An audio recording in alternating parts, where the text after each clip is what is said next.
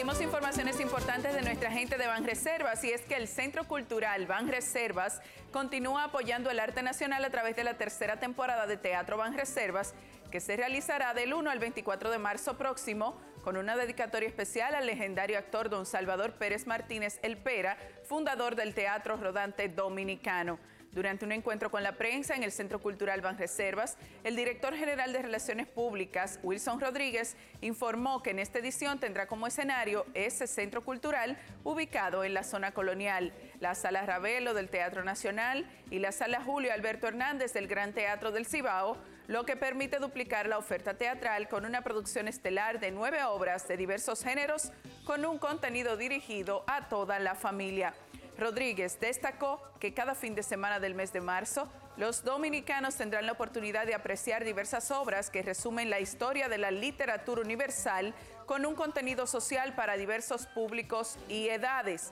Experimentamos una enorme satisfacción de poder subir a escena por tercer año consecutivo esta temporada de teatro que se ha convertido en todo un referente de las artes escénicas que pone en evidencia el talento y la creatividad de nuestros artistas, reiteró y agradece que por tercer año reafirme su compromiso con las artes escénicas, brindando una gran oportunidad tanto a veteranos actores como a jóvenes prometedores que tienen el firme compromiso de presentar una puesta en escena al más alto nivel dijo Cordero al presentar las obras de la entrega. Gracias como siempre por compartir con nosotros estas notas interesantes.